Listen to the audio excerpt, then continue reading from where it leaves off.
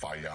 Why is ServPro a leading restoration company? Because with over 1,700 franchises nationwide, we are close by and can be faster to your disaster. ServPro of Douglas and Otter Tail counties.